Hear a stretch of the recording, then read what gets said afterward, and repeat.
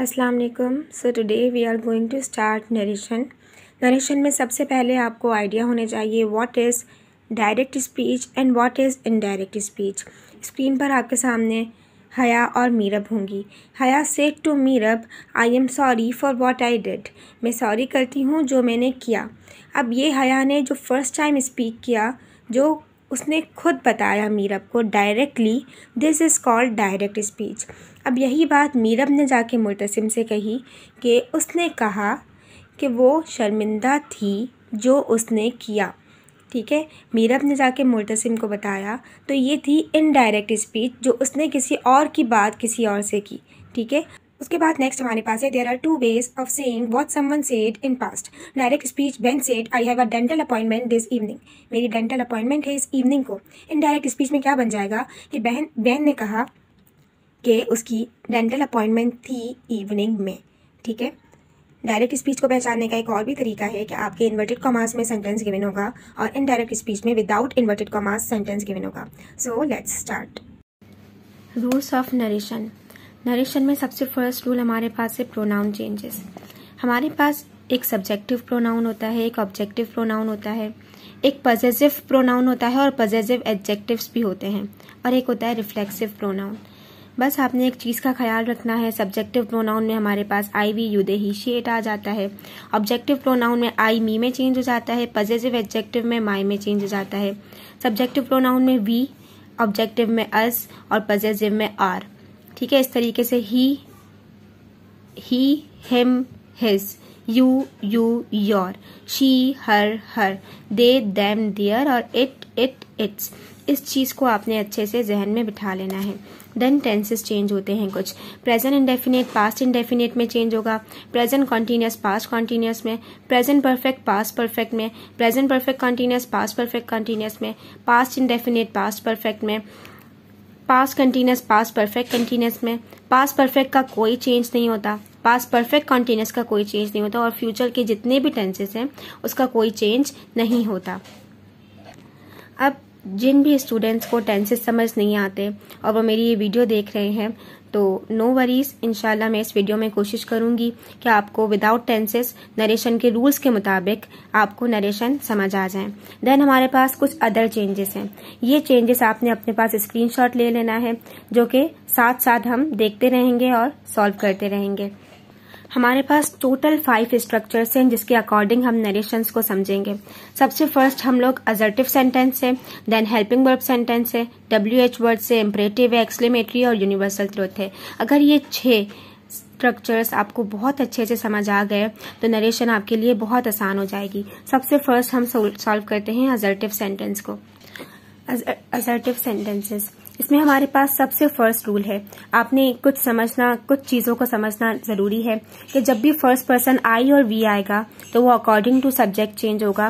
Second person you आएगा तो वो अकॉर्डिंग टू ऑब्जेक्ट चेंज होगा। और third person he she it के साथ कोई भी चेंज नहीं आएगा जब हम सेंटेंस को सॉल्व करेंगे। असर्टिव सेंटेंसेस में जब सेट टू आएगा तो वो टोल्ड में चेंज हो जाएगा। सेस टू आएगा तो वो टेल्स में चेंज हो जाएगा। और इन्वर्टेड कॉमास जो है, वो डेथ में चेंज हो जाएँगे। सो लेट्स स्टार्ट फ़र्स्ट है हमारे पास he said tomorrow is a holiday he अच्छा एक और चीज़ याद रखनी है। स्टार्ट में, जो इन्वर्टेड कॉमास से पहले हमारे पास ही सेड आ रहा है ना तो इसमें सिर्फ़ सेड टू अगर आएगा तो उसकी चेंजेस होगी। बाकी कोई भी इन्वर्टेड कॉमास से पहले वर्ड्स होंगे, उसमें कोई चेंज नहीं आएगा। हमने ही का ही एज इट इज़ लिख दिया। सेड है। अब ऊपर तो सेड टू टोल्ड में चेंज हो रहा है। सेड तो नहीं हो रहा तो said said as it is रहेगा। इन्वर्टेड कॉमास किसमें चेंज होते हैं? डेट में चेंज होते हैं। मैंने इन्वर्टेड कॉमास की जगह लिख दिया डेट अब टुमारो जो आपने पीछे अदर चेंजेस देखी थी, उसमें आपने देखना है कि टुमारो किसमें चेंज हो रहा है। टुमारो किसमें चेंज हो रहा है? दी नेक्स्ट डे तो आपने यहाँ पे लिख दिया दी नेक्स्ट डे देन आपके पास है इज़ इज़ एम आर किसमें चेंज हो रहा है हमारा? वॉज़ वर्ड में। तो आपने इसकी जगह लिख दिया वॉज़ आ का आ हॉलीडे का हॉलीडे ये हमारी हो गई, एक नरेशन सॉल्व हमने डायरेक्ट स्पीच को इनडायरेक्ट स्पीच में चेंज कर दिया। देन हमारे पास नेक्स्ट है she said I have not met him before ये भी इन्वर्टेड कॉमास में इट्स मीन या डायरेक्ट स्पीच हमारे पास गिवन है। हमने इनडायरेक्ट में चेंज करना है। शी का शी आ गया सेड है। ऊपर तो सेट टू की चेंजेस है ना? सेट तो एज इट इज़ जाएगा। सेट का सेट इन्वर्टेड कॉमास किसमें चेंज हो रहे हैं? दैट में। देन आपके पास आई है। अब हमारे पास ये फॉलो होगा कि आई और we according to subject change होते हैं। हमारे पास इन्वर्टेड कॉमास से पहले शी क्या गिवन है? सब्जेक्ट है। और अगर सेट के बाद कोई वर्ड होता तो वो ऑब्जेक्ट कहलाता। ठीक है? I according to subject change होगा। तो सब्जेक्ट मेरे पास क्या है? शी तो मैंने यहाँ पे लिख दिया शी आई की जगह क्या लिख दिया? शी देन आ गया हैव देन आपने अदर, फिर से अदर चेंजेस में देखना है कि हैज़ हैव किसमें चेंज हो रहे हैं? हैड में। तो आपने यहाँ पे लिख दिया हैड नॉट का नॉट आ गया मैट का मैट आ गया हिम अच्छा जी अब हिम है हिम किससे बिलोंग करता है हमने यहाँ पे देखा था ना हिम किससे बिलोंग करता है ही से बिलोंग करता है और ऊपर ही शी इट का कोई चेंज नहीं है तो हमने हिम एज इट इज़ लिख दिया और बिफोर का भी बिफोर आ गया डन ये हमारी हो गई एक और नरेशन कंप्लीट देन आपके पास है she said she said as it is आ जाएगा, क्योंकि ऊपर तो सेट टू की चेंजेस है सेट की तो नहीं है. इन्वर्टेड कॉमर्स की जगह आ गया दैट अब आ गया है आई वही आई है तो अकॉर्डिंग टू सब्जेक्ट चेंज होगा. सब्जेक्ट मेरे पास क्या है? शी ठीक है? मैंने यहाँ पे लिख दिया शी अब यहाँ पे एक चीज़ है बिलीव आ रहा है। क्या आ रहा है? बिलीव अब बिलीव हमारे पास वर्ब की फ़र्स्ट फॉर्म है। जिसको टेंसेस नहीं आते स्पेशली उसके लिए है कि यहाँ पर अगर वर्ब की फ़र्स्ट फॉर्म आ रही है तो आपने उसको चेंज कर देना है वर्ब की सेकेंड फॉर्म में। क्या कर देना है? वर्ब की सेकेंड फॉर्म में। और अगर कहीं, मैं यहाँ पे लिख रही हूँ, अगर कहीं वर्ब की फ़र्स्ट फॉर्म है तो वर्ब की सेकेंड फॉर्म में चेंज कर देंगे। और अगर कहीं वर्ब की सेकेंड फॉर्म आएगी तो वो हैड प्लस वर्ब की थर्ड फॉर्म में चेंज कर देंगे। ठीक है? अब यहाँ पे तो आ रही है वर्ब की फ़र्स्ट फॉर्म तो वो सेकंड फॉर्म में चेंज हो जाएगी।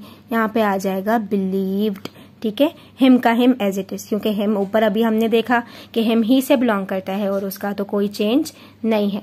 ठीक है? ये हमारी एक और नरेशन कंप्लीट हो गई। देन हमारे पास सेम है he said to me I watch TV he का ही आ गया। सेट टू हमें पता है कि सेट टू की चेंज क्या है? टोल्ड है। यहाँ पे आपने लिख दिया ही टोल्ड मी का मी एज इट इज़ आ गया। इन्वर्टेड कॉमास की जगह आपने लगा दिया दैट यहाँ पे आ गया दैट ठीक है? अब आई है ना? I according to subject change होगा। यहाँ पे मेरा ही सब्जेक्ट है। और मैंने कहा था ना सेट के बाद जो होगा वो ऑब्जेक्ट कहलाएगा। यहाँ पे मी है तो मी मेरा ऑब्जेक्ट है। I according to subject change होगा तो यहाँ पे आ गया ही ठीक है? वॉच वर्ब की फ़र्स्ट फॉर्म है। तो वर्ब की फ़र्स्ट फॉर्म किसमें चेंज होगी? वर्ब की सेकेंड फॉर्म में। ठीक है? टीवी का टीवी आ गया। अच्छा ये उस सूरत में होगा, ये उस सूरत में ये चेंजेस होंगी जब आपके पास, देखो, कोई हेल्पिंग वर्ब नहीं है। डायरेक्ट आपके पास वर्ब गिवन है और वर्ब की फ़र्स्ट फॉर्म है। उस सिचुएशन में आपने ये रूल अप्लाई करना है, ठीक है? देन नेक्स्ट पे आ जाओ। He said to me I watched TV he का ही सेट टू टोल्ड में चेंज हो जाएगा। मी का मी आ गया। इन्वर्टेड कॉमास की जगह दैट आ गया। देन आपके पास I according to subject change होगा। This is your subject this is your object ये सब्जेक्ट से चेंज होगा तो ही आ गया। अब वॉच डे वॉच तो मेरे पास वर्ब की सेकेंड फॉर्म है तो वो चेंज हो जाएगी हैड प्लस वर्ब की थर्ड फॉर्म में। वॉच की थर्ड फॉर्म वॉच ही होती है। टीवी का टीवी ये वाली नरेशन भी आपकी हो गई सॉल्व देन नेक्स्ट है अब आपको समझ भी आ रहा होगा और अब आप खुद भी बना रहे होगे। He said to said to change हो जाएगा टोल्ड में डैम का डैम आ गया इन्वर्टेड कॉमास की जगह दैट आ गया। अब आ गया है यू अब आ गया है यू अब यहाँ पे हमने रूल्स देखने हैं कि second person you according to object change होता है अकॉर्डिंग टू ऑब्जेक्ट अब यहाँ पे हमारे पास ही तो सब्जेक्ट है ऑब्जेक्ट क्या है? दैम है। क्या है? दैम जब ऑब्जेक्ट यहाँ पर आएगा यू की जगह यू तो ऑब्जेक्ट से चेंज होगा तो हम यहाँ पे दैम नहीं लिखेंगे। डैम नहीं लिखेंगे। हम यहाँ पे डैम की जगह क्या लिखेंगे? दे एक चीज़ याद रखनी है। जब भी सेंटेंस के स्टार्ट में आप कोई भी वर्ड लिखते हो, क्योंकि ये सेंटेंस इन्वर्टेड कॉमास के बाद स्टार्ट हो रहा है ना तो यहाँ पे हम हमेशा सब्जेक्टिव प्रोनाउन को लेते हैं ऑब्जेक्टिव प्रोनाउन को नहीं लेते। तो अगर डैम होगा तो दे आ जाएगा। ठीक है? मी होगा मी होगा तो आई आ जाएगा। अज होगा तो वी आ जाएगा। हर होगा तो शी आ जाएगा। हिम होगा तो ही आ जाएगा। ठीक है? हम सेंटेंस के स्टार्ट में हमेशा उसका क्या लेंगे? ऑब्जेक्टिव का सब्जेक्टिव प्रोनाउन लेंगे। देन आर है। हमने अभी देखा था कि इज़ एम आर किसमें चेंज हो रहा है? वॉज़ वर में। यहाँ पे आपका आ गया दे है तो दे के साथ वर लगता है। डूइंग का डूइंग गट का गट और वर्क का वर्क ये भी आपकी नरेशन हो गई डन देन लास्ट है the teacher said to me you may go the teacher का द टीचर आ गया. देन आपके पास सेट टू की जगह टोल्ड आ जाएगा. मी का मी आ गया. मैंने कहा था ना सेंटेंस के स्टार्ट में इन्वर्टेड कॉमास से पहले सिर्फ़ सेट टू में चेंजिंग होगी, बाकी किसी भी चीज़ में चेंज नहीं होगा, बाकी सब आपने एज इट इज़ उतारना है। इन्वर्टेड कॉमास की जगह आपने लिख दिया दैट अब यहाँ से चेंजिंग होना स्टार्ट होगी। You you according to object change होगा। ठीक है? क्योंकि ये सेकंड परसेंट है। सेकंड अब यहाँ पे मेरे पास द टीचर सब्जेक्ट है। और मी मेरे पास ऑब्जेक्ट है। You according to object change होगा। तो यहाँ पर मैं मी तो नहीं लिखूँगी। मी का क्या लिखूँगी? आई क्योंकि सब्जेक्टिव प्रोनाउन लिखूँगी। मे। अब मे मेरे पास कहाँ है? मे चेंज हो जाएगा माइट में।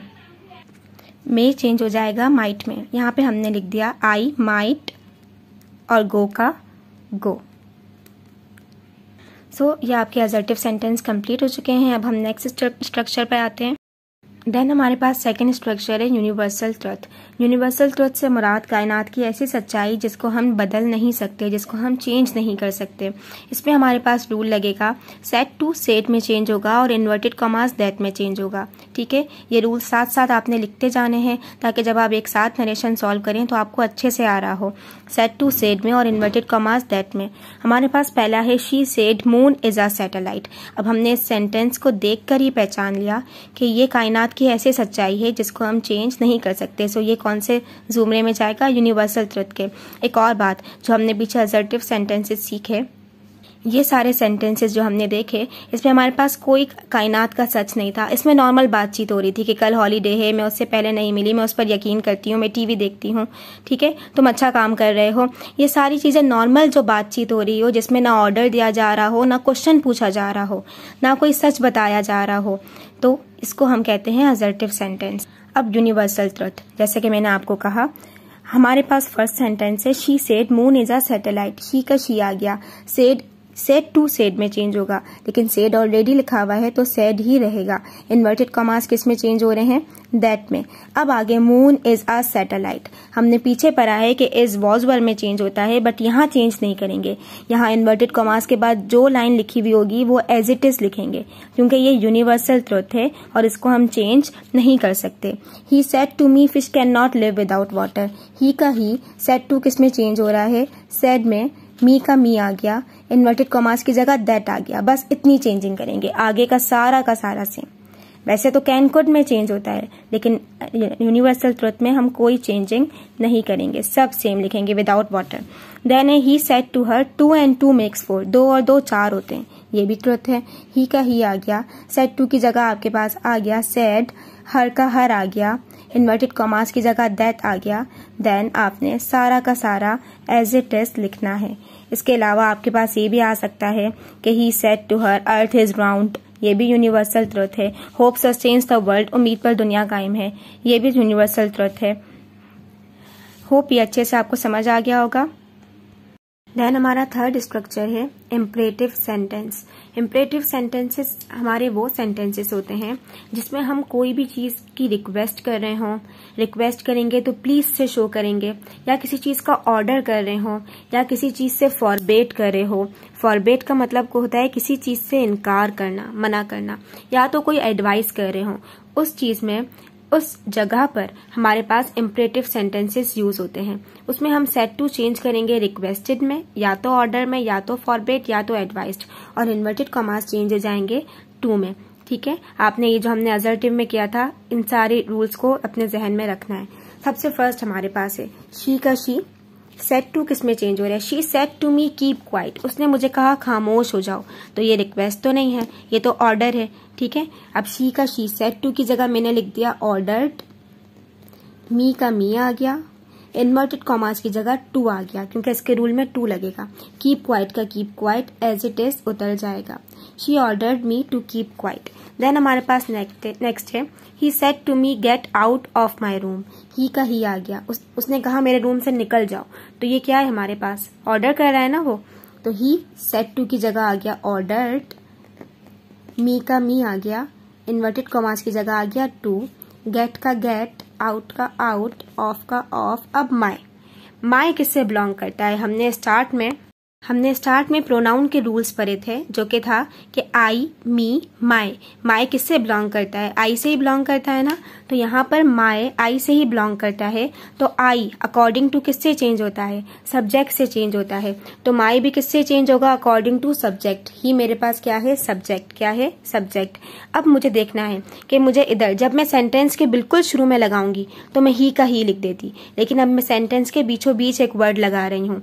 तो माए की जगह क्या आ जाएगा? यहाँ पे देखो। यहाँ पे, आई की जगह माई है तो ही की जगह क्या आ जाएगा? हिज आ जाएगा। क्या आ जाएगा? हिज। तो यहाँ पे मैंने लिख दिया हिज। ही की जगह क्या लिख दिया? His. Get out of his room. अगर शी होता तो हर आ जाता। दे होता तो देयर आ जाता। ठीक है? अब नेक्स्ट है हमारे पास होप ये अच्छे से क्लियर हुआ होगा कि जब सेंटेंस के स्टार्ट में लगाएँगे तो तो कंफर्म हम सब्जेक्टिव प्रोनाउन लगाएँगे I we you they he she it subject के एंड में लगाएँगे तो हमें देखना पड़ेगा सेंटेंस के एंड में लगाएँगे तो हमें देखना पड़ेगा कि ऑब्जेक्टिव प्रोनाउन लगाएँ या पॉजिटिव एडजेक्टिव लगाएँ, ठीक है? अब माए था आई की जगह तो ही की जगह भी क्या लिख दूँगी? हिज लिख दूँगी। अब नेक्स्ट आ जाओ। Salma said to me please let me know when you are free अब प्लीज़ है प्लीज़ तो हमारा रिक्वेस्ट में आता है तो यहाँ पे हमने लिखा सलमा सेट टू की जगह आ गया रिक्वेस्टेड सेट टू की जगह आ गया रिक्वेस्टेड मी का मी आ गया इन्वर्टेड कॉमास की जगह आ गया टू प्लीज़ नहीं लिखूँगी, क्योंकि प्लीज़ की जगह मैं रिक्वेस्टेड शो कर चुकी हूँ। मैं स्टार्ट करूँगी अपना सेंटेंस लेट से। कहा से? लेट से। लेट मी नो अब मी मी भी किससे बिलोंग करता है? आई से बिलोंग करता है और I according to subject change होता है। सब्जेक्ट मेरे पास क्या है? सलमा। सलमा इज़ शी सलमा एक गर्ल है। तो उसके लिए हम क्या यूज़ करेंगे? शी यूज़ करेंगे। और मी मेरा ऑब्जेक्ट यहाँ पे सलमा सब्जेक्ट है और मी ऑब्जेक्ट है। यहाँ पर, यहाँ वाला जो मी है, क्योंकि हम स्टार्ट में तो चेंज नहीं करते हैं। हम इन्वर्टेड कॉमास से पहले तो सिर्फ़ सेट टू की चेंजिंग देखते हैं, बाकी तो कोई भी चेंज नहीं करते। इन्वर्टेड कॉमास के बाद हर चेंजेस को देख रहे होते हैं। तो प्लीज़ तो नहीं आएगा, क्योंकि रिक्वेस्टेड आ गया लेट का लेट आ गया मी आई की फैमिली से बिलोंग करता है। तो हम अकॉर्डिंग टू सब्जेक्ट चेंज करेंगे। सब्जेक्ट क्या है? सलमा क्या है? सलमा तो यहाँ पे मैं मी की जगह क्या कर दूँगी? हर। देखो ना यहाँ पे, जब मी आई की जगह यूज़ हुआ तो शी की जगह क्या यूज़ होगा? हर यूज़ होगा। क्या यूज़ होगा हर लेट हर नो का नो एज इट इज़ आ गया. देन आ गया वैन अब यू है. अब क्या है यू और you according to object change होता है. You according to object change होता है. ऑब्जेक्ट मेरे पास क्या है यहाँ पे? मी क्या है? मी अब मी जो है यू मी की जगह आ जाएगा आई क्या आ जाएगा?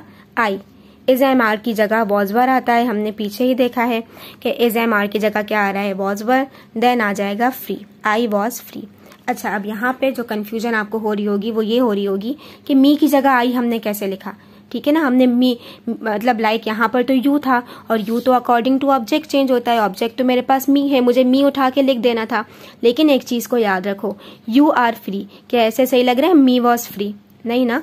यहाँ पर हमने बस ख्याल करना है कि कहाँ पे हमने सब्जेक्टिव प्रोनाउन का यूज़ करना है कहाँ पे ऑब्जेक्टिव प्रोनाउन का यूज़ करना है।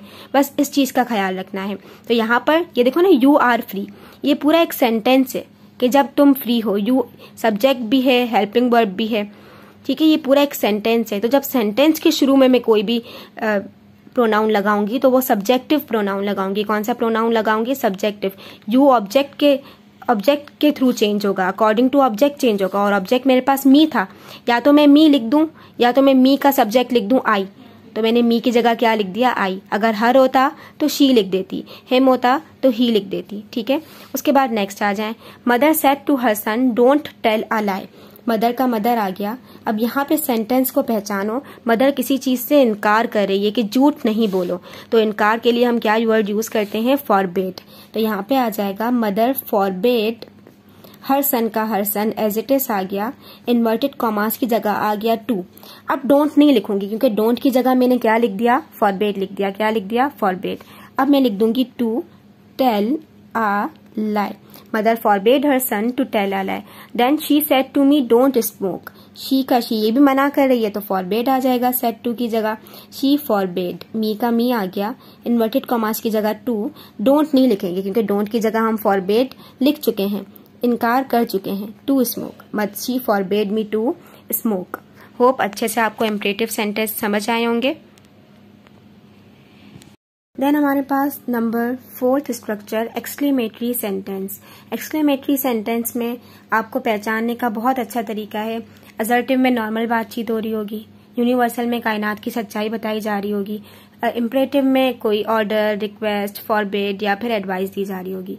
एक्सक्लेमेटरी सेंटेंस में आपके पास एक्सक्लेमेटरी मार्क होगा, जिससे आपको पहचान हो जाएगी कि ये कौन सा सेंटेंस है। एक्सक्लेमेटरी सेंटेंस है। बेसिकली ये वो सेंटेंसेस होते हैं जिसमें हम अपनी फीलिंग्स को ज़ाहिर करते हैं। जैसे, अगर हमारे पास सैड आ जाए या सेड टू आ जाए, दोनों में से कोई भी वर्ड आ जाए, वो चेंज हो जाएगा एक्सक्लेम्ड विथ सौरो में, या तो ज्वाय में या तो वंडर में। अगर आप गम की कैफियत में होगे तो आप एक्सक्लेम्ड विथ सौरो लिखोगे। अगर आप खुशी की या एक्साइटमेंट की कैफियत में होगे तो आप जॉय लिखोगे। और अगर आप अजीब सी या फिर हैरत की या ताज्जुब का शिकार होगे तो आप लिखोगे वंडर ठीक है? अब हम स्टार्ट करते हैं। She said oh I have lost all my money उसने ओह से अपनी फीलिंग शो की। और एक्सक्लेमेटरी मार्क लगा हुआ है। तो ये एक्सक्लेमेटरी सेंटेंस के जुमरे में आज। She said oh I have lost all my money उसने कहा कि मैंने अपने सारे पैसे खो दिए। तो वो सौरों की कैफियत में, कौन सी कैफियत में? गम की कैफियत में। तो हमने लिखा she exclaimed with sorrow exclaimed with sorrow inverted commas की जगह आ जाएगा दैट देन ओह नहीं लिखेंगे। क्योंकि ओह की जगह हमने फीलिंग शो कर दी एक्सप्लेन विथ सौरव की। अब हम स्टार्ट करेंगे आई से। और आपको अपना वही बेसिक रूल याद रखना है कि I according to subject change होता है। और सब्जेक्ट हमारे पास क्या है यहाँ पे? शी शी हमारा सब्जेक्ट है। I according to subject change होगा। तो शी मैं यहाँ पे लिख दूँगी आई की जगह। हैव हमने पीछे ही अपने रूल में देखा था अदर चेंजेस में कि हैव हैज़ चेंज होता है हेड में। आपने अदर चेंजेस का स्क्रीनशॉट ले लेना है। लॉस्ट का लॉस्ट आ गया ऑल का ऑल आ गया। अब माई माई कौन सी फैमिली से बिलोंग करता है? आई की फैमिली से बिलोंग करता है और आई अकॉर्डिंग टू किससे चेंज होगा? सब्जेक्ट से। सब्जेक्ट क्या है? शी तो जब यहाँ माई आ रहा है तो मैं आई का क्या शी का क्या कर दूँगी? हर कर दूँगी। क्योंकि यहाँ पर ये सेंटेंस के एंड में यूज़ हो रहा है तो ऑब्जेक्टिव प्रोनाउन के तौर पर यूज़ होगा, ठीक है? देखो स्टार्ट में यूज़ हुआ तो सब्जेक्टिव एंड में यूज़ हुआ तो ऑब्जेक्टिव हर आ गया देन मनी का मनी एज इट एस आ जाएगा। होप आपको अच्छे से समझ आ रहा होगा। देन है she said alas I am undone she said का शी सेट सेट की जगह अब हम कौन सी कंडीशन शो करें एलास हम गम की कैफियत को ज़ाहिर करने के लिए लिखते हैं तो यहाँ पे भी हम लिखेंगे सेट की जगह exclaimed with sorrow she exclaimed with sorrow inverted commas की जगह आ जाएगा दैट एलास नहीं लिखूँगी क्योंकि एलास की जगह मैंने ये फीलिंग शो कर दी I according to subject change होता है सब्जेक्ट मेरा है she is am are was were में चेंज होगा अनडन का अनडन आ गया ठीक है? She exclaim with sorrow that she was undone then हमारे पास है she said to her brother what you have described is interesting इस तरीके के भी क्वेश्चन आ सकते हैं। लेकिन आपने एक चीज़ का ख्याल रखना है, आपने वॉट वगैरह कुछ नहीं देखना, क्योंकि आगे डब्ल्यू एच क्वेश्चन भी आएँगे। तो हमें कंफ्यूज नहीं होना, हमें बस याद रखना है कि इसमें फीलिंग शो हो रही होगी। कि उसने कहा अपने बाइसेक जो तुमने डिस्क्राइब किया, वो इंटरेस्टिंग था, या वो इंटरेस्टिंग है? ठीक है? और लास्ट में एक्सक्लेमेटरी मार्क है। कौन सा मार्क है? एक्सक्लेमेटरी मार्क है। तो यहाँ पर उसने, हम लिखेंगे शी अब वो अपने भाई से खुशी में भी कह सकती है और हैरत से भी कह सकती है कि उसने जो डिस्क्राइब किया वो इंटरेस्टिंग था। तो सेट टू की जगह हमने लिख दिया exclaimed with wonder she exclaimed with wonder said to की जगह ये आ गया। आगे हर ब्रदर का हर ब्रदर आ जाएगा। देन हमारे पास इन्वर्टेड कॉमास की जगह दैट आ जाएगा। अब हम वॉट नहीं लिखेंगे, क्योंकि जैसे हम ऊपर एलास नहीं लिख रहे थे ओह नहीं लिख रहे थे वॉट की जगह हमने ये फीलिंग शो कर दी। अब हम स्टार्ट करेंगे यू से। You according to object change होगा। हमने स्टार्ट से रूल पर आए कि you according to object change होगा। यहाँ पे मेरे पास शी सब्जेक्ट है और ब्रदर ऑब्जेक्ट है। ब्रदर क्या है? ऑब्जेक्ट है। अब मैं सेंटेंस के स्टार्ट में यूज़ कर रही हूँ ना तो सब्जेक्टिव प्रोनाउन ही होगा। ब्रदर की जगह क्या आ जाएगा? ही। अगर सिस्टर होती तो क्या आ जाता? शी ठीक है? You according to object change हो गया हैव हैव हैज़ किसमें चेंज होता है? अदर चेंजेस में हमने देखा था हेड में। हेड फिर आगे डिस्क्राइब्ड का डिस्क्राइब्ड एज इट इज़ आ जाएगा। Is am are was were में चेंज होता है तो इज़ का आ गया वॉज़ और इंटरेस्टिंग का इंटरेस्टिंग सेम आ गया यहाँ पे। ये हो गई आपकी ये वाली नरेशन भी कंप्लीट देन हमारे पास नेक्स्ट है. She said what a strange story it is ये थोड़ी टफ वाली है ताकि अगर कोई भी पेपर में आ जाए या आपके टेस्ट में आ जाए तो आपको आ रही हो. शी का शी अब उसने कहा, तुमने जो कहा वो स्ट्रेंज स्टोरी थी. ठीक है, वो एक तरीके से अजीब सी स्टोरी थी. तो हम इसमें भी वंडर की कैफियत को यूज़ करेंगे. तो हमने यहाँ पे लिखा शी सेट की जगह लिख दिया. Exclaimed with wonder she exclaimed with wonder inverted commas की जगह हमने लिख दिया दैट अब वॉट नहीं लिखेंगे, जैसे ऊपर नहीं लिखा था ना, क्योंकि वॉट की जगह हमने फीलिंग शो कर दी. A strange story it is हम यहाँ से स्टार्ट करेंगे. अब a strange story it is ठीक है? हम ये भी लिख सकते हैं आई स्ट्रेंज स्टोरी इट क्योंकि इट हमारे पास थर्ड पर्सन है और उसका नो चेंज है तो यहाँ पे नॉर्मल जाएगा ना a strange story it is am are की जगह क्या आ जाएगा? Was were a strange story it was या तो हम ऐसे लिखें, या तो हम ऐसे लिखें कि हम, क्योंकि सेंटेंस में नॉर्मल हमें पता है कि पहले सब्जेक्ट आता है देन हेल्पिंग वर्ब आता है देन कोई बात की जाती है। तो हम इसको ऐसे भी लिख सकते हैं, क्योंकि इट का तो कोई चेंज नहीं है ना। ऊपर नो चेंज था ही शेट में। इट इज़ एम आर की जगह हमने वॉज़ वर्ड लगा दिया, इसकी जगह वॉज़ आ गया, फिर हमने लिख दिया strange story it was a strange story इस तरह आपका सेंटेंस जो है ना, वो बिल्कुल सही बनता है। Then last she said to me hurray I won the match pause करके इसको खुद सॉल्व करें देन अपना आंसर मैच करें। शी का शी आ गया। सेट टू की जगह हमने लिख दिया। एक्सक्लेम्ड विथ हो रहा है, वो खुश हो रहा है, हो रही है क्योंकि उसने मैच जीत लिया। तो एक्सक्लेम्ड विथ लिख देंगे वंडर देन मी का मी आ गया। देन इन्वर्टेड कॉमास की जगह दैट आ गया। हुर्रा की जगह हमने लिख दिया तो हुर्रा नहीं लिखेंगे। आई आ रहा है। I according to subject change होता है तो यहाँ पे मैंने लिख दिया शी वॉन यहाँ पे आपने रूल चलाना है जो हमने अजर्टिव में सीखा था कि अगर वर्ब की फ़र्स्ट फॉर्म होगी तो सेकंड में चेंज होगी और अगर सेकंड होगी तो हैड प्लस थर्ड फॉर्म में चेंज होगी। यहाँ पे वर्ब की सेकंड फॉर्म वॉन लगी हुई है तो ये चेंज होगी हैड प्लस वर्ब की थर्ड फॉर्म में। हैड के साथ क्या आ गया? वॉन आ गया। दैट शी हैड वॉन आगे आ जाएगा the match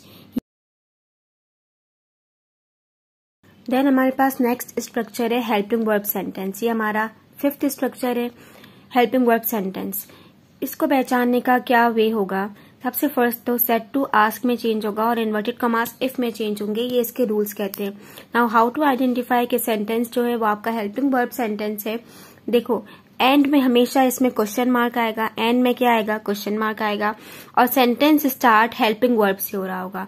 Now what are helping verbs have has can could is am are was were do does ये कैन मस्ट हो गया शुड हो गया वुड हो गया विल हो गया, ये सारे आपके हेल्पिंग वर्ब कहलाते हैं। क्या कहलाते हैं? हेल्पिंग वर्ब लास्ट में क्वेश्चन मार्क होगा स्टार्ट में हेल्पिंग वर्ब होगा तो आपने पहचान लेना है कि ये हेल्पिंग वर्ब सेंटेंस से बिलोंग करता है। सबसे फ़र्स्ट तो हमने लिख दिया शी सेट टू की जगह लिखा आस्क्ड मी का मी आ गया। आस्क क्यों लिख रहे हैं? इसमें भी बेसिक है कि क्वेश्चन पूछ रहा है तो हम आस्क लिख रहे हैं इन्वर्टेड कॉमर्स की जगह आ जाएगा इफ़ क्या आ जाएगा? इफ़ आ जाएगा। अब एक चीज़ आपने जहन में रखनी है कैन यू फॉलो मी ये इंट्रोगेटिव बना हुआ है, और हेल्पिंग वर्ब सेंटेंस में नरेशन का रूल कहता है कि आपने इंट्रोगेटिव को अफर्मेटिव में चेंज करना है। किसमें चेंज करना है? अफर्मेटिव में। आपको ये तो पता ही होगा इंट्रोगेटिव सवालिया बना हुआ है हमने। अफर्मेटिव यानी सादा जुमले में चेंज करना है। पहले यू आ जाएगा देन कहना आएगा ना? क्योंकि पहले सब्जेक्ट आता है, उसके बाद वर्ब आता है। अब यू यू तो अकॉर्डिंग टू ऑब्जेक्ट चेंज होगा। ये मेरे पास सब्जेक्ट है और मी मेरे पास ऑब्जेक्ट है। ऑब्जेक्ट यू की जगह सब यू सब ऑब्जेक्ट से चेंज होगा। तो मी मी की जगह क्या आ जाएगा? आई मैंने आपको सिखाया था ना, जब सेंटेंस के स्टार्ट में आते हैं तो हम ऑब्जेक्टिव प्रोनाउन को यूज़ नहीं करते सब्जेक्टिव प्रोनाउन को यूज़ करते मी का क्या आ गया? आई देन कैन है। कैन। अब ये आपने यहाँ से देखना है कि कैन किसमें चेंज हो रहा है, कुड में चेंज हो रहा है। तो यहाँ पर मैंने कैन को चेंज कर दिया, कुड में। I, could. फॉलो का फॉलो आ गया और मी है। अब क्या है मी? मी मेरे पास आई से बिलोंग करता है और I according to subject change होता है। सब्जेक्ट में क्या है? शी। लेकिन जब मैं इसको एंड में यूज़ करूँगी तो मैं शी का क्या कर दूँगी? हर कर दूँगी, यानी ऑब्जेक्टिव प्रोनाउन लगाऊँगी। ठीक है? होप ये आपको समझ आ रहा होगा कि स्टार्ट में लगाते हैं तो सब्जेक्टिव प्रोनाउन एंड में लगाते हैं तो objective pronoun then he said to me have you anything to tell me he का ही आ गया. सेट टू की जगह आस्क आ गया. अब देखो हैव आ गया ना स्टार्ट में तो हेल्पिंग वर्ब है. लास्ट में क्वेश्चन मार्क है तो this is helping verb sentence me का मी आ गया. इन्वर्टेड कॉमास की जगह आ गया. इफ़ अब have you anything to tell me ये भी क्वेश्चन है, इसको अफर्मेटिव में चेंज करेंगे. तो पहले यू आ जाएगा ना. यू मतलब लाइक यू आएगा, फिर हैव आएगा, लेकिन यू तो अकॉर्डिंग टू ऑब्जेक्ट चेंज होता है। ऑब्जेक्ट मेरे पास यहाँ पे भी क्या है? मी है। तो मी का क्या आ जाएगा? आई हैव है तो हमें पता है कि हैव हैज़ किसमें चेंज होते हैं? हेड में चेंज होते हैं। यहाँ पे आ गया हैड इफ़ आई हैड फिर आ गया एनी थिंग टू टेल का टेल मी आई की फैमिली से बिलोंग करता है और I according to subject change होता है। सब्जेक्ट में मेरे पास ही है तो ही का क्या हो जाएगा हिम जैसे ऊपर शी का हो गया था ना हर, यहाँ पे ही का हो जाएगा हिम क्योंकि सेंटेंस के एंड में यूज़ हो रहा है। Is this your pen she said to me इस तरह से भी सेंटेंस आ सकता है कि ये एंड में लिखा हुआ हो और आपके स्टार्ट में जो है वो इन्वर्टेड कॉमास वाला सेंटेंस लिखा हुआ हो। लेकिन आपने ये शी सेट टू मी को स्टार्ट में ही करना है। शी का शी सेट टू की जगह आस्क्ड मी का मी इज़ हमारे पास हेल्पिंग वर्ब है क्वेश्चन मार्क आ रहा है this is helping verb sentence अब पहले तो वही ना, हमने ये लिखना है देन हेल्पिंग वर्ब लिखना है.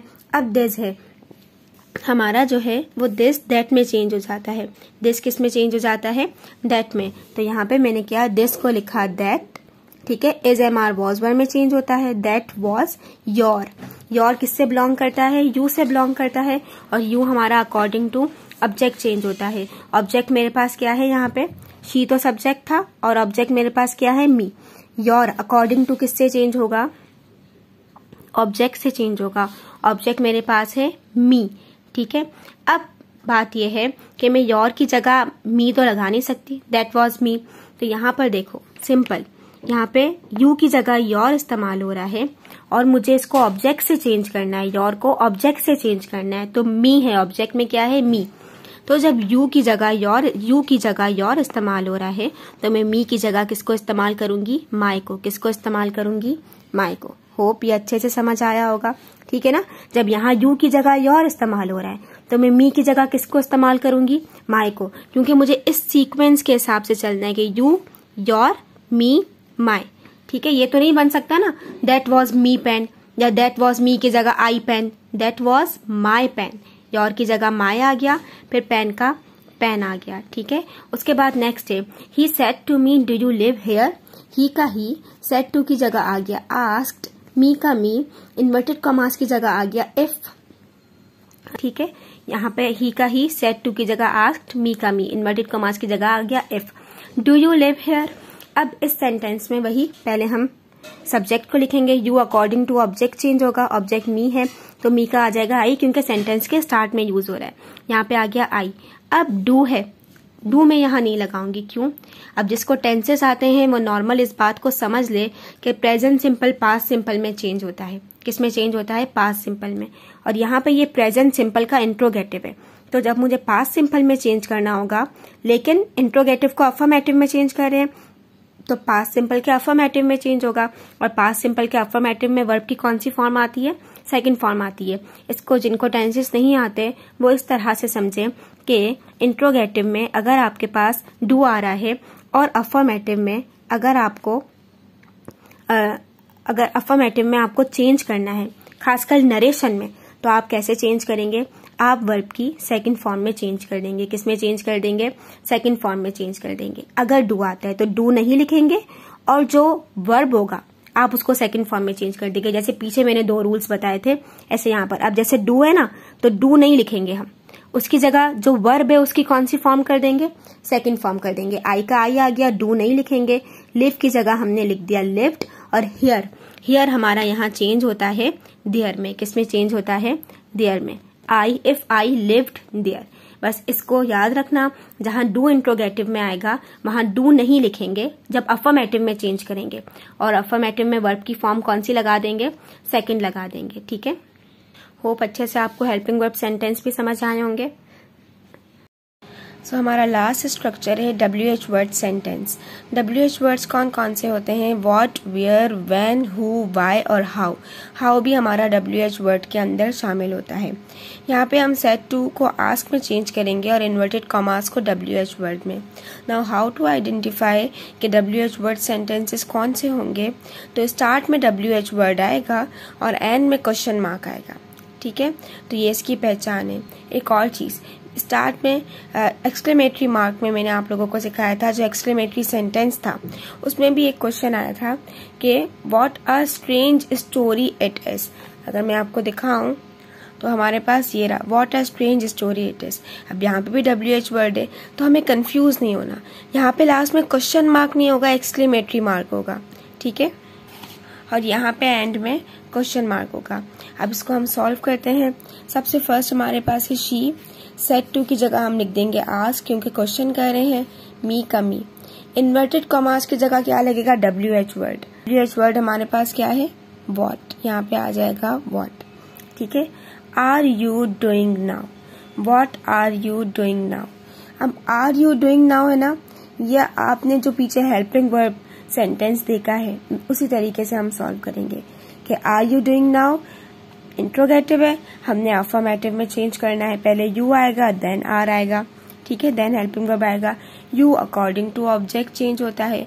और यहाँ पे ऑब्जेक्ट मेरे पास क्या है? मी तो मी यहाँ पे जब सेंटेंस के स्टार्ट में लगेगा तो आई बन जाएगा। इस एम आर की जगह वॉज़ वर्ड लगता है। डूइंग का डूइंग आ गया। नाउ अब नाउ यहाँ पर आप देखें कि नाउ का चेंज क्या है? देन है। तो नाउ चेंज हो जाएगा देन में। उसके बाद I said to him who are you I का आई आ गया। सेट टू की जगह आ गया। आस्क्ड हेम का हेम इन्वर्टेड कॉमर्स की जगह डब्ल्यू एच वर्ड मेरे पास क्या है? हु अब आर यू अब यहाँ पे हमने वही ना कि आर बाद में लिखेंगे। यू पहले लिखेंगे। तो you according to object change होगा। ऑब्जेक्ट क्या है? हिम हिम जब सेंटेंस के स्टार्ट में लगेगा तो ही बन जाएगा। और इज़ एम आर की जगह वॉज़, ई, ही के साथ वॉज़ लगेगा। क्वेश्चन मार्क हटा देना है, क्योंकि हम अफर्मेटिव में चेंज करते हैं। अली सेट टू सारा अली का अली आ गया। सेट टू की जगह आ गया। आस्क्ड सारा का सारा इन्वर्टेड कॉमर्स की जगह डब्ल्यू एच वर्ड मेरे पास हाउ है। अच्छा हाउ लॉन्ग ये ना लॉन्ग भी इसके साथ है। अब हमने जो चेंजिंग करनी होती है ना, वो यहाँ से करनी होती है, जहाँ से आपके पास हेल्पिंग वर्ब आ रहा होता है। अब will you take to solve this problem पहले यू आएगा देन आपके पास इसमें हेल्पिंग वर्ब आएगा। You according to object change होगा ऑब्जेक्ट सारा है। तो सारा एक फीमेल है तो हम उसकी जगह लिख देंगे शी ठीक है? फिर विल है विल चेंज हो जाएगा वुड में, क्योंकि यहाँ पे हमारे पास विल की चेंजिंग है वुड ठीक है? देन हमारे पास है टेक टेक का टेक एज इट इज़ आ गया। To solve this this that में चेंज हो जाएगा अदर चेंजेस में आप देखेंगे। प्रॉब्लम का problem now last I said who will clean the mess अच्छा यहाँ पे एक और चीज़। सेड आ जाए सेट टू आ जाए, आपने आस्क में ही चेंज करना है। आई आस्क्ड इन्वर्टेड कॉमास की जगह आप लगा देंगे W H word who will clean the mess यहाँ पे देखें, यहाँ पे कोई हमारे पास सब्जेक्ट नहीं है। जैसे यहाँ यू था, यहाँ यू था, यहाँ यू था। यहाँ कोई सब्जेक्ट नहीं है तो हम नॉर्मली सेंटेंस लिख देंगे विल वुड में चेंज हो गया। आगे का सारा का सारा एज इट इज़ ठीक है? अपने पास साथ साथ रूल्स को नोट करते जाएँ, ताकि आपको अच्छे से सारी चीज़ें क्लियर हो सकें। तो यहाँ हमारी नरेशंस कंप्लीट होती हैं। सबसे फ़र्स्ट हमने अजर्टिव सेंटेंस पर जिसमें हमारे पास सेट टू टोल्ड में चेंज हुआ और इन्वर्टेड कॉमास दैट में। देन उसके बाद हमने यूनिवर्सल तुरंत पढ़ा, जो कायनात की ऐसी सच्चाई जिसको हम चेंज नहीं कर सकते। वहाँ सेट टू सेड में चेंज हुआ और इन्वर्टेड कॉमास दैट में। फिर हमने एक्सक्लेमेटरी सेंटेंस पढ़ा, जहाँ पे सेड आ जाए सॉरी जहाँ पे सेड आ जाए या सेट टू आ जाए, हम एक्सक्लेम्ड विथ सोरो जॉय और वंडर में चेंज करेंगे और इन्वर्टेड कॉमास को दैट में। फिर हमने इम्परेटिव सेंटेंस पढ़ा, जहाँ पे said to requested ordered advised और फॉरबेड में चेंज होगा और इन्वर्टेड कॉमास टू में होगा। फिर हमने हेल्पिंग वर्ब सेंटेंसेस पढ़े, जहाँ सेट टू हो या सेड हो आस्क में चेंज होगा और इन्वर्टेड कॉमास जो है, वो इफ़ में चेंज होगा। फिर हमने डब्ल्यू एच वर्ड पढ़ा, जहाँ सेट टू हो कि सेड हो, वो आस्क में चेंज होगा और inverted commas W H word में, ठीक है? यहाँ पे होप आपको अच्छे से समझ आ गया होगा इसका स्ट्रक्चर अब हम एक एग्ज़ाम का क्वेश्चन सॉल्व करते हैं. चेंज दी नरेशन मैं आपको सिर्फ़ समझाऊँगी, ताकि आपको आइडिया हो कि कौन सा स्ट्रक्चर कौन सा है. The boy said alas we have lost the match alas feeling ज़ाहिर हो रही है. एक्सक्लेमेटरी सेंटेंस है और एक्सक्लेम्ड विथ सोरो है. ठीक है? ये आपने खुद बनाने की कोशिश करनी है. अच्छा वी हमारे पास अकॉर्डिंग टू सब्जेक्ट चेंज होगा सब्जेक्ट बॉय है तो बॉय लड़का है तो ही आ जाएगा, ठीक है? उसके बाद she said to me what are you doing now ये मैंने आपको सॉल्व भी करवाया है। वॉट हमारा डब्ल्यू एच वर्ड है लास्ट में क्वेश्चन मार्क आ रहा है। तो सिंपल ये हमारे पास जो है, वो डब्ल्यू एच सेंटेंसेस में जाएगा। He said the earth revolve around this sun अच्छा जी, ये हमारे पास यूनिवर्सल ट्रुथ है। The policeman said to the prisoner do not fight in the prison policeman ने प्रिजनर को कहा, कैदी को कहा कि कैद में नहीं लड़ो। पुलिस वाला मना कर रहा है तो फॉरबेड आएगा। इसमें हम इम्परेटिव सेंटेंस का रूल इस्तेमाल करेंगे। सीखा डायरेक्ट टू इनडायरेक्ट कि जब हमारे पास इन्वर्टेड कॉमास वाले क्वेश्चन आएँगे डायरेक्ट आएगा तो उसको इनडायरेक्ट में कैसे चेंज करेंगे? आपके एग्ज़ाम में आ गया कि इनडायरेक्ट को डायरेक्ट में चेंज करो तो आप किस तरह से परफॉर्म करेंगे? देखो, बहुत सिंपल अगर मेरे पास ये आ गया the teacher told me that I might go तो मैं इसको इनडायरेक्ट में कैसे चेंज करूँगी? द टीचर का द टीचर आ गया। टोल्ड में टोल्ड तो सेट टू की जगह लगाती हूँ। तो मैंने यहाँ पे क्या लिख दिया? सेट टू मी का मी तो एज इट इज़ जाएगा। दैट में किसकी जगह लगाती हूँ? इन्वर्टेड कॉमास की जगह लगाती हूँ। ठीक है? अब आई मैंने लिखा है। तो मुझे जहन में होना चाहिए कि जब मैंने आई लिखा है तो ये मैंने अकॉर्डिंग टू या तो सब्जेक्ट क्या होगा या तो ऑब्जेक्ट अगर अकॉर्डिंग टू सब्जेक्ट करती तो टीचर शी है या ही है? लड़का है कि लड़की है? तो मैं यहाँ पे ही या शी लिखती। लेकिन मैंने आई लिखा है, यानी मी को आई में चेंज किया है तो मैंने अकॉर्डिंग टू किसको किया है? अकॉर्डिंग टू ऑब्जेक्ट चेंज किया है। तो इसका मतलब यहाँ पे ऐसा क्या है जो अकॉर्डिंग टू ऑब्जेक्ट चेंज होता है? हमारे पास एक वाहिद यू ही है जो अकॉर्डिंग टू ऑब्जेक्ट चेंज होता है। तो आपने यहाँ पे लिखा यू। आई की जगह क्या लिख दिया? यू। मे माइट हमने मे की जगह लिखा था और गो का गो एज इट इज़ आ गया। इस तरह से आपने सोच के अपने अब इनडायरेक्ट टू डायरेक्ट भी बना सकते हैं।